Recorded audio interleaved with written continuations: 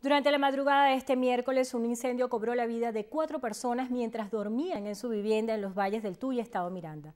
Los integrantes de una misma familia quedaron atrapados entre las llamas. Las autoridades controlaron el fuego cuando los cuerpos ya estaban carbonizados. Las víctimas mortales fueron identificadas como Alberto José Serrano Molina, de 21 años, Jandis Soleivis Tobar Ávila, de 20 años, quien tenía varios meses de embarazo, Yusmari Josefina Zambrano Molina, de 46, y una niña de dos años. Las causas del suceso no han sido determinadas. Se presume que hubo un cortocircuito, lo cual originó las llamas. El hecho ocurrió en una casa ubicada en la vereda 4, sector 5 de Madera de los Valles del Tuy.